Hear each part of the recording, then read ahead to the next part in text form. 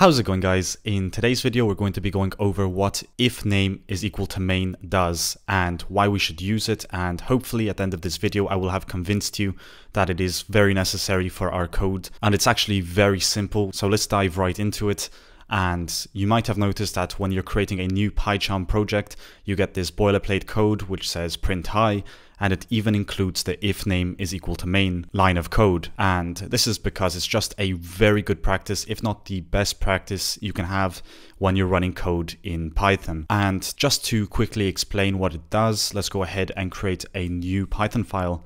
And here we're going to go ahead and call it sample package. So it's just a new sample package. And inside here, we're going to create a function that's going to say uh, do something, and we're going to print hello. Now, of course, we want to go ahead and also test it. So if we go here and type in print hello, and we run this program, you're going to notice it's going to say hello. So now that we have a package that's actually working, we can go to our main file and get rid of all of this, and we can go ahead and import the sample package. And to use the sample package, of course, all we have to do is call the sample package and the function that we want to use. And with that being done, let's go ahead and right click on main and run main. And you're going to notice that we're going to have hello printed twice, even if we just wrote it once over here. And that's because when we import a package, it also invokes all of the code inside the package, which is not a behavior that we actually want in our program because this can mess with variable names, this can mess with amounts and can just cause undefined behavior in our program. So what we really want to do is go ahead and check if name is equal to main. And PyCharm has a quick way of doing this. You just type in main and tap on enter and it creates this placeholder for us. So we can actually insert this into this line of code. And now it's going to check that if the name is equal to main, it's going to print hello, which means if this is the current file, it's only going to print hello if we run it directly. So if we run the sample package, it's going to run it and it's going to print hello.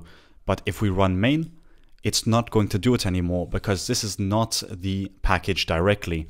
So this will only run if it's the package directly. And it's important you do this in all the files that you're planning to run. So if we go here and type in main, we're going to get if name is equal to main and we can go ahead and paste this inside there. It's also a nice sign for the person reading the code that this is a file that you're supposed to run and you're going to get this green arrow as well which makes it very convenient to run the code and it just makes sure that we're running the code that we actually want to be run. So again with sample package as you noticed it's not going to run that because now it only checks that name is equal to main and any file that you're running will be called main. Even if it says sample package here, as soon as you tap on run, it's going to set the name to main, so it's only going to run this file. So that's essentially the main reason we use if name is equal to main. It's just to make our code a bit more concise and to make sure that we don't mix up variables and functions and run code that we don't want to run when we're importing packages. And everything else works as normal. You can go ahead and type in say